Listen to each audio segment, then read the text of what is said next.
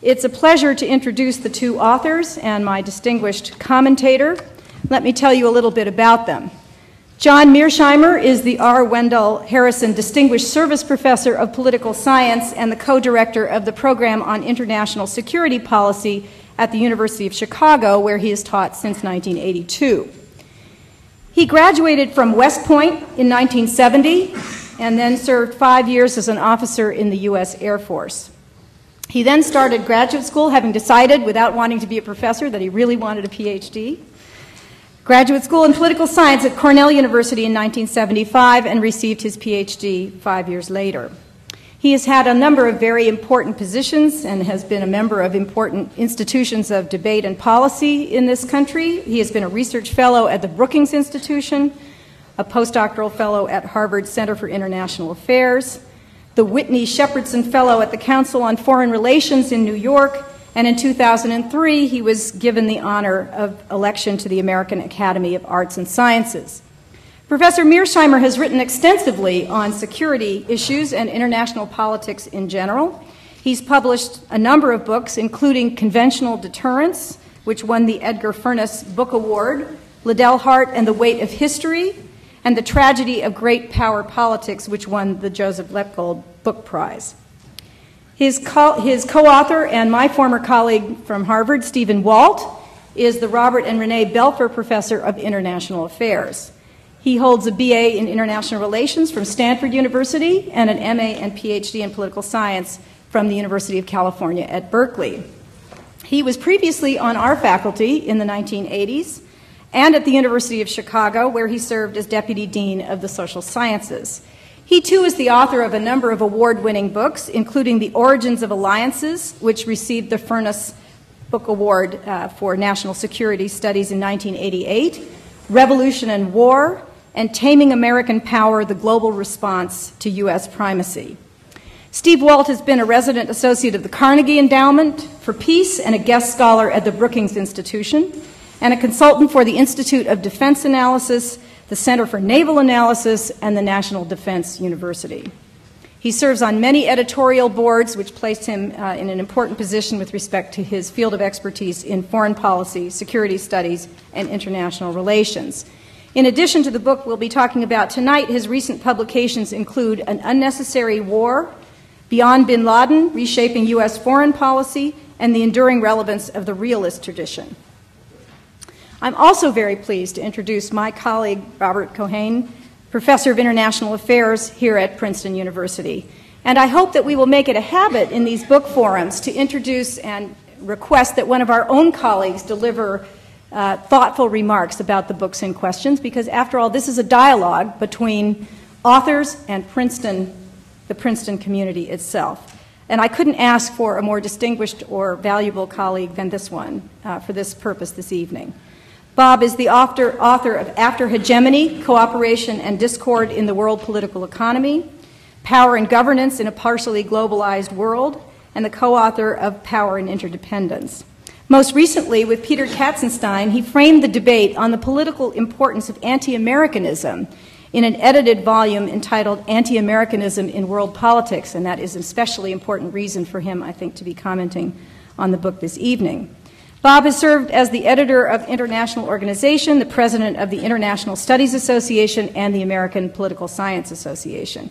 He has won numerous awards for his work in international relations and is also a member of the Academy, uh, the American Academy of Arts and Sciences, the American Philosophical Society, and the National Academy of Sciences.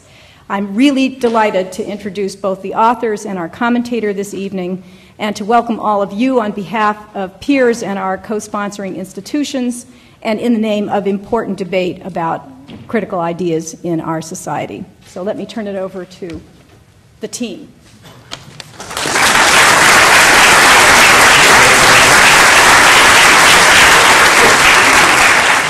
thank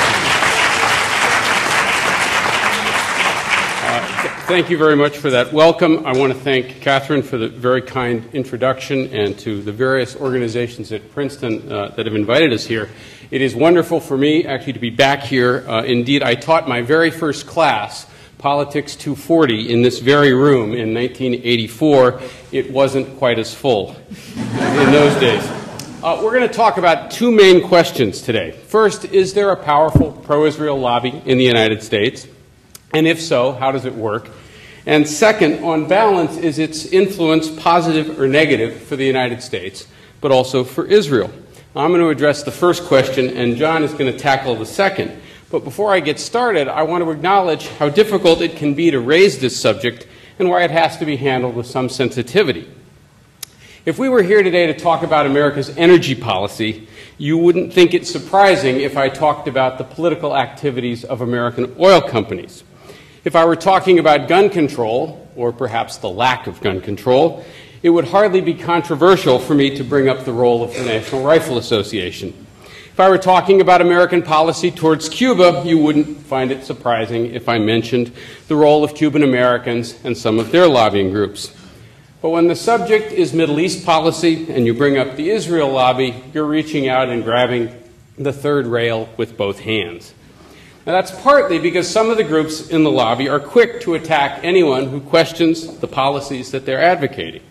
But it's also because this entire conversation takes place in the shadow of centuries of anti Semitism, which includes bizarre conspiracy theories like the protocols of the Elders of Zion, and of course, tragic events like the Holocaust. And that history shapes how we all think and talk about these events. So, if you talk about a powerful interest group that is mostly Though by no means exclusively comprised of Jewish Americans, some may think you're saying that there's a secret conspiracy to control American foreign policy. If you say that media coverage in the United States tends to favor Israel, it sounds to some people like you're making the old charge that Jews control the media. If you talk about campaign contributions by pro Israel PACs, some people will accuse you of saying that Jewish money is doing something improper. I want to be clear at the outset that John and I both reject every one of those various anti Semitic conspiracy theories. To us, the Israel lobby is just an interest group, like lots of other interest groups in the United States. Most of its activities are entirely appropriate forms of democratic politics. We don't question Israel's legitimacy or its right to exist. In fact, we think the United States should come to Israel's aid if its survival is ever in jeopardy. But we also think that the activities of the lobby and its impact on U.S. foreign policy are subjects that people ought to be able to talk about openly and reasonably, the same way we discuss any other groups that try to influence American policy, either foreign or domestic. So, what are we talking about? We're talking about the special relationship. Israel is the largest recipient of U.S. economic and military aid. It gets about $500 per year for each Israeli citizen even though its per capita income is now 29th in the world. It's not a poor country like Burundi or Bangladesh. And it gets this aid even when it does things the United States opposes, like building settlements in the West Bank. Israel gets consistent diplomatic support from the United States, for example, in the United Nations, and we almost always take its side in regional disputes.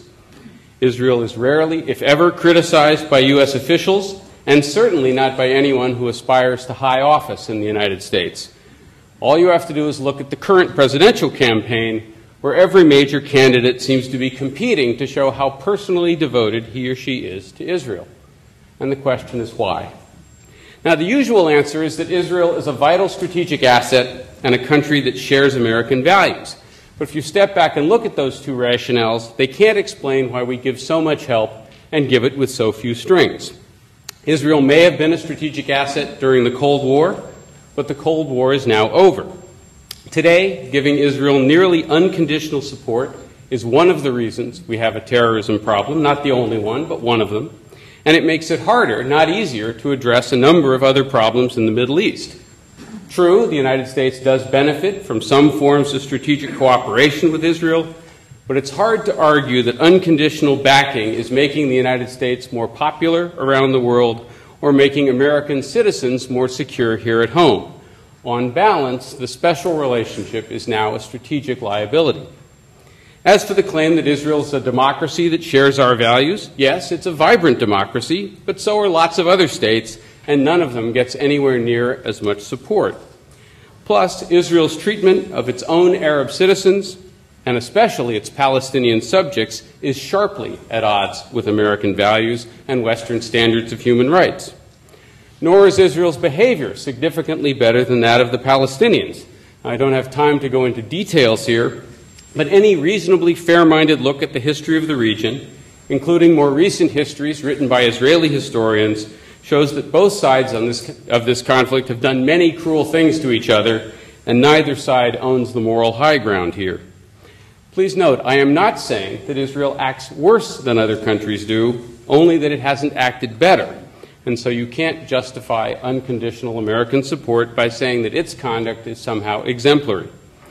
I want to emphasize again we think there is a strong moral case for Israel's existence based on the long history of anti Semitism and we think the United States should come to Israel's aid if its survival is at risk. But its existence is fortunately not in jeopardy today, and past crimes against the Jewish people do not justify a blank check now. So, what explains its privileged position? In our view, it's primarily the Israel lobby. The lobby is a loose coalition of individuals and groups who work openly to influence U.S. foreign policy in a pro Israel direction and maintain the special relationship. It includes organizations like AIPAC, the Conference of Presidents of Major American Jewish Organizations, Christians United for Israel, think tanks like the Washington Institute for Near East Policy, publications like the Weekly Standard, Commentary, or the New Republic. Now, that's a broad definition, but if you think about it, many interest groups have lots of different components to them. The environmental movement in the United States isn't just Greenpeace or the Sierra Club. It also includes research organizations, sympathetic journalists, academics who work on topics like global warming. Or think of the arms control community, which has lots of different organizations and lots of different individuals involved in it. The Israel Lobby is not a centralized organization, and the groups that comprise it do not agree on every single issue. It is certainly not a cabal or a conspiracy to control American foreign policy. Rather, it's just another interest group, like many others. Its actions, we like to say, are as American as apple pie. Final important point here the lobby is not synonymous with Jewish Americans. Surveys suggest that about a quarter of Jewish Americans don't care one way or the other about Israel very much. Many others do not support the positions of the key organizations in the lobby, and some of the groups that work on Israel's behalf, such as the so called Christian Zionists, aren't Jewish. The lobby is defined by the political agenda it favors, not by ethnicity and not by religion. And the key to that political agenda is preserving the special relationship. So, how does it work? Well, in American politics, Relatively small groups with a focused agenda often wield disproportionate influence because they care a lot about a single issue and politicians can win their support without losing anyone else's. Think of the Farm Lobby or the National Rifle Association. And like other special interest groups, the Israel Lobby works in two main ways. First, it exercises influence inside the Beltway by getting sympathetic people elected to office or appointed to key positions in the government and by giving politicians obvious incentives to support the positions the lobby is in favor of. Organizations like AIPAC work 24 7 to convince politicians to support their program. AIPAC, by the way, has an annual budget of about $50 million. It's very active on Capitol Hill, helping draft legislation, providing talking points for congressmen, writing letters for them to sign. It's a highly professional organization with a very energetic and active grassroots base. AIPAC is not a political action committee, however, and it doesn't give money directly to politicians. Instead, it helps guide campaign contributions from individuals and pro Israel political action committees that do give money directly. For example, it interviews every candidate running for Congress and asks them to write a position paper laying out their views on the Middle East so that it can then advise PACs on who to give the money to. Those pro Israel PACs, and there are about three dozen of them uh, currently active, have given about $55 million in the last 15 years to various political candidates. That's not counting individual contributions, by the way. Uh, by comparison, Arab American political action committees, of which there are a handful, gave about $800,000 over that same 15 year period. So you get a rough idea of the balance of support. And over the past 30 years, AIPAC and other groups have helped drive a number of prominent politicians from office so that every congressman and every presidential candidate knows you are playing with fire if you question American support for Israel. This is all to explain why Steve Rosen, the AIPAC official who is now under indictment for passing classified information, once put a napkin in front of a journalist from the New Yorker and said in 24 hours we could have the signatures of 70 senators on this napkin.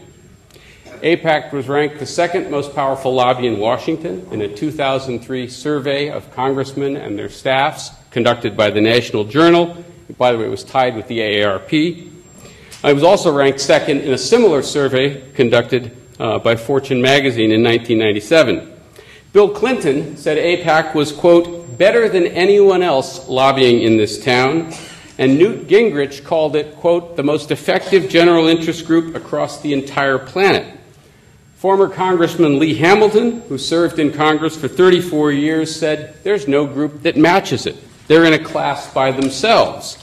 Former Senator Fritz Hollings said, as he was leaving office, you can't have an Israel policy other than what AIPAC gives you. And the late Senator Barry Goldwater, who was himself half Jewish, said he never faced greater pressure than from the Israel lobby, and, quote, it's the most influential crowd in Congress by far.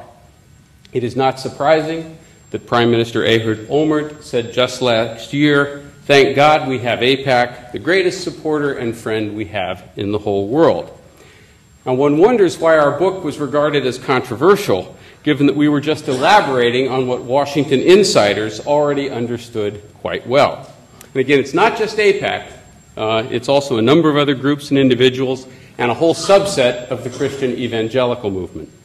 All right, the second strategy, that's the first strategy. The second strategy is to try and shape public discourse and perception so that Israel is viewed favorably by most Americans. Uh, mainstream media in the United States tends to be pro Israel, especially in editorial commentary and in terms of op ed columnists and pundits. If you compare coverage in the United States to either Europe or Israel, you simply find a much narrower range of views in mainstream media here.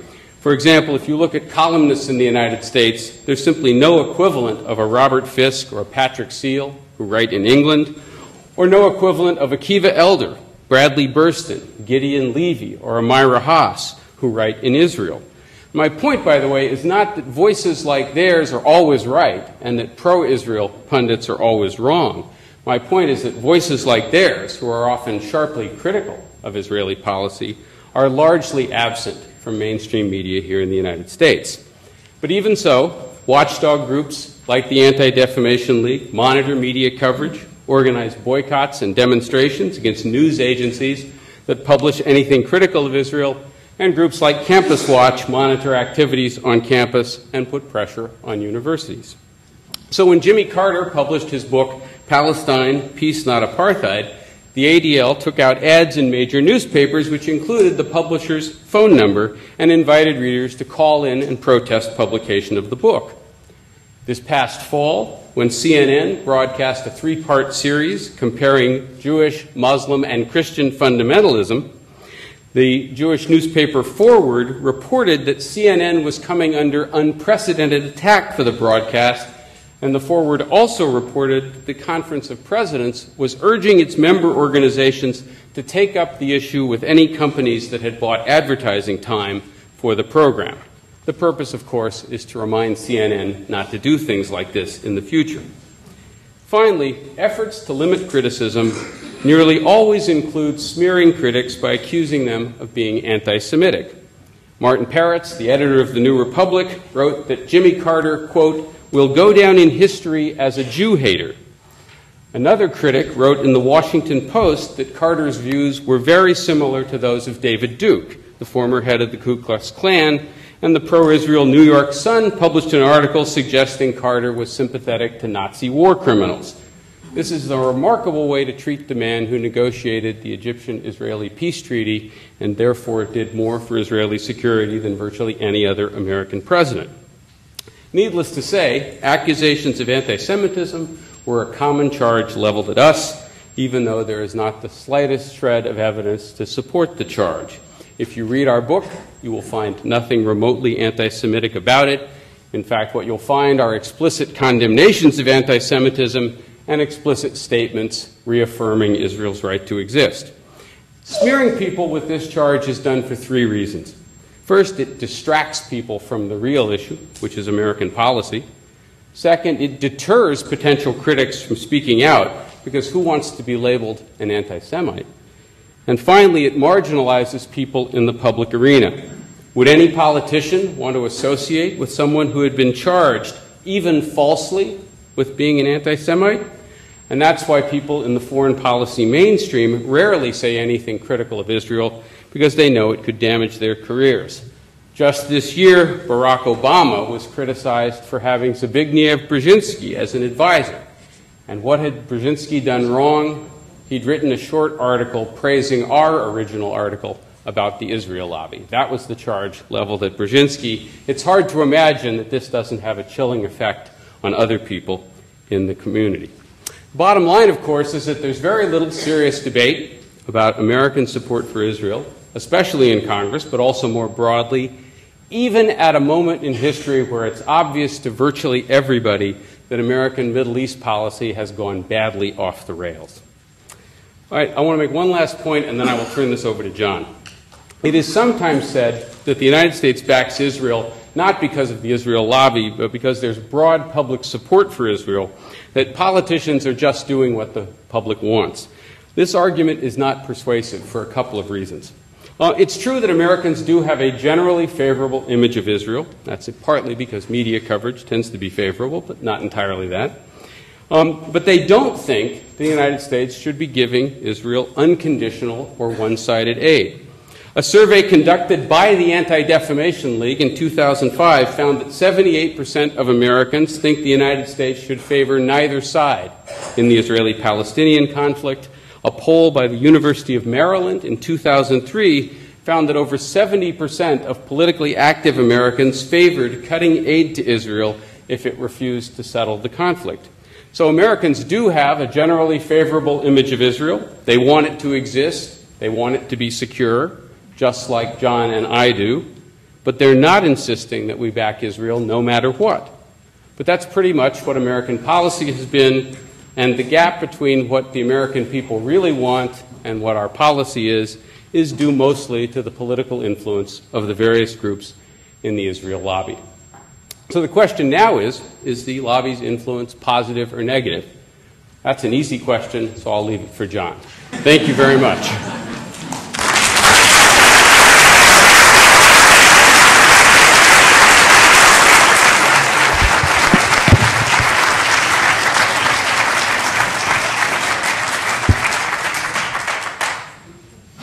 Steve has defined the lobby and made the case that it has a powerful influence on U.S. Middle East policy. I'd like to take the analysis a step further and argue that its influence has been largely negative. In a nutshell, our argument is that the lobby, working with Israel itself, has pushed U.S. Middle East policy in ways that are not in the American national interest, and I might add, not in Israel's interest either. I'm going to focus on one case, the role of the lobby and Israel in the run up to the Iraq War. There are four other cases that we, discuss, we discuss in the book uh, that I won't deal with here because of time constraints, but we can surely talk about in the Q&A period.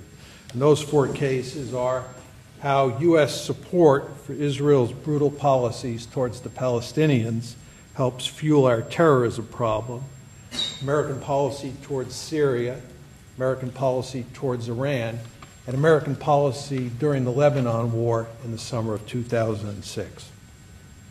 It's manifestly clear to most Americans at this point in time that the Iraq War is one of the greatest strategic blunders in U.S. history. Our argument is that Israel, and especially the lobby, were two of the main driving forces behind the decision to invade Iraq. We argue that it's hard to imagine that war happening in their absence. Now, this argument is obviously a controversial one, but we are hardly alone in making it.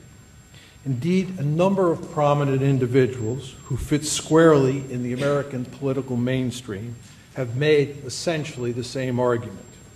For example, Philip Zelikow, who was the executive director of the 9 11 Commission, and more recently, counselor to Secretary of State Condoleezza Rice, told the University of Virginia audience on September 10, 2002, that Saddam was not a direct threat to the United States. The real threat, he argued, is the threat against Israel. He went on to say, and this is the threat that dare not speak its name, because the Europeans don't care deeply about that threat, and the American government doesn't want to lean too hard on it rhetorically because it's not a popular sell.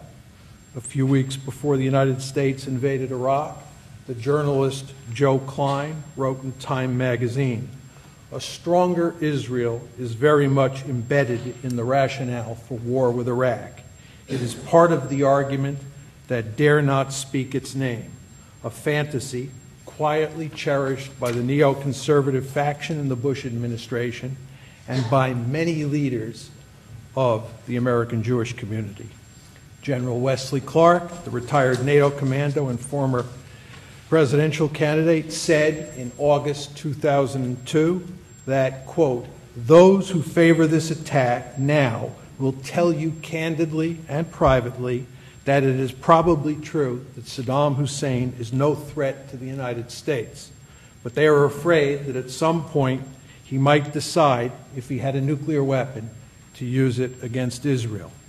Former Senator Ernest Hollings made a similar argument in May 2004. After noting that Iraq was not a direct threat to the United States, he asked why we invaded that country. The answer, which he said everyone knows, is because we want to secure our friend Israel. The journalist Robert Novak referred to the war well before it happened as Sharon's War and continues to do so today. I am convinced, he said in April 2007, that Israel made a large contribution to the decision to embark on this war. I know that on the eve of the war, Sharon said in a closed conversation with senators that if they could succeed in getting rid of Saddam Hussein, it would solve Israel's security problems. Finally, when the prospect of an American invasion was beginning to dominate the headlines in the fall of 2002, the journalist Michael Kinsley wrote that the lack of public discussion about the role of Israel is the proverbial elephant in the room. Everybody sees it, no one mentions it. The reason for this reluctance, he observed, was fear of being labeled an anti Semite. Of course, these statements are not evidence that Israel and the lobby played a key role in causing the Iraq War. So let's look at the evidence. To start with Israel, it was the only country besides Kuwait where both the government and a majority of the population favored the war. The Israeli government, to include Prime Minister Sharon, pushed the Bush administration hard to make sure that it did not lose its nerve in the months before the invasion. Other influential Israelis, like former Prime Ministers Ehud Barak and Benjamin Netanyahu, also implored the United States to take down Saddam. In fact, Israel was pushing so hard for war that its allies in the United States warned Israeli officials to damp down their rhetoric lest it be seen as a war for Israel. I might add that President Clinton said in 2006 that every Israeli politician I knew thought that Saddam was so great a threat that he should be removed even if he did not have WMD.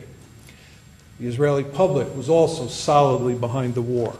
According to a February 2003 poll, that's one month before the war began, 77.5% of Israelis said that they wanted the United States to attack Iraq. This is why Benjamin Netanyahu told a congressional committee in September 2002 that I reflect the sentiment of not just the majority, but the overwhelming majority of Israelis in supporting a preemptive attack against Saddam's regime. And this cuts across political lines in Israel. One sometimes hears the argument, I'm sure many of you have, that Israel opposed the Iraq War and actually favored attacking Iran instead. There's no question that in early 2002, when the Israelis first got wind that the Bush administration was thinking about attacking Iraq, key Israeli officials went to Washington and made it clear that they thought that the greater enemy was Iran and that the Bush administration should focus on Tehran, not on Baghdad. It's important to emphasize, however, that Israel was not opposed to the United States toppling the regimes in Iraq or Syria, two countries that Jerusalem considers mortal enemies. Israel simply wanted the United States to deal with Iran first. But once the Israelis realized that the war party intended to deal with Iran after it finished the job in Iraq, it enthusiastically embraced the idea of invading Iraq. Thus, between early 2002 and March 2003, the Israelis put significant pressure on the Bush administration to make sure it chose war over diplomacy with Iraq while reminding Washington not to forget that Iran must come after Iraq. I might add that there is no evidence that Israel warned the United States that Iraq would turn into a quagmire. Indeed, the Israelis thought that Iraq would be a cakewalk, which is why they were confident that the Bush administration would be free to go after Iran right after the mission was accomplished in Iraq. Of course, they were wrong. Turning now to the lobby, there is no question that the neoconservatives, one of the core constituencies in the lobby, were the main driving force behind the war. But they were supported by key organizations in the lobby like AIPAC. Now that the war has gone south, it's common to hear Israel's supporters here in the United States say that the main organizations in the lobby did not push for war. But that is not true. This point is made clear in a May 2003 editorial that appeared in The Forward, a weekly Jewish newspaper based in New York. The editorial reads Most major organizations have wisely opted to follow Sharon's lead and lay low, but their top leaders and donors have strong views. The most audible voices are pro war, and they're making themselves heard on op ed pages, in phone calls to lawmakers, and across the internet. It's true that America's six million Jews are divided on the war like other Americans, but the organized Jewish community tilts heavily toward war. And as Jewish leaders like to remind themselves, the views of the community carry some weight in this country.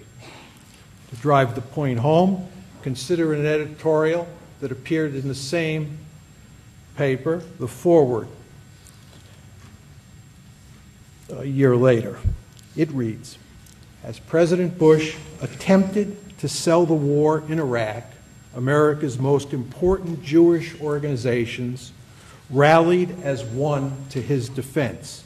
In statement after statement, community leaders stressed the need to rid the world of Saddam Hussein and his weapons of mass destruction. Concern for Israel's security rightfully factored in to the deliberations of the main Jewish groups. One sometimes hears the claim these days that AIPAC took no position on the Iraq War and certainly did not advocate it. This is not true either. First of all, this claim fails the common sense test, as AIPAC usually supports what Israel wants, and Israel certainly wanted a war against Iraq. Second, there is hard evidence that AIPAC lobbied for the war. For example, AIPAC's executive director, Howard Kohr, told the New York Sun in January 2003 that one of AIPAC's successes over the past year was, quote, quietly lobbying Congress to approve the use of force in Iraq, end of quote. The neoconservatives, of course, were the main driving force behind the war. They initiated the idea of using force to topple Saddam in two letters written to President Clinton in early 1998. Over the next five years, and especially after 9 11, they pushed relentlessly for a war against Iraq. No other group or institution in the United States was seriously committed to invading Iraq over that five year period. Indeed, there was significant opposition to attacking Iraq even after 9 11 within the State Department, the intelligence community, and the uniformed military. I might add that there is hardly any evidence that the oil companies or the oil producing states were pushing for war with Iraq. The neoconservatives are, by their own admission, deeply committed to Israel. In fact, many of them are connected with key organizations in the lobby, like the American Enterprise Institute and the Washington Institute for Near East Policy.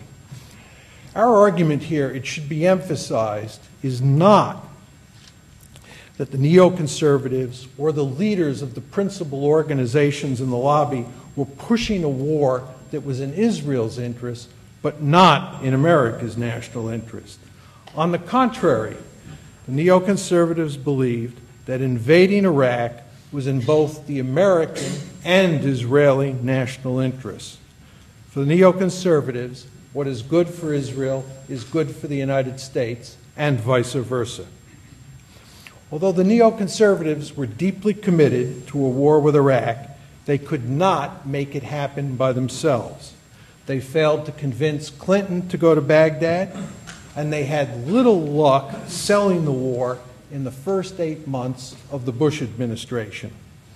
It was the events of 9 11 that created the circumstances where they could help convince both President Bush and Vice President Cheney that invading Iraq was a smart idea.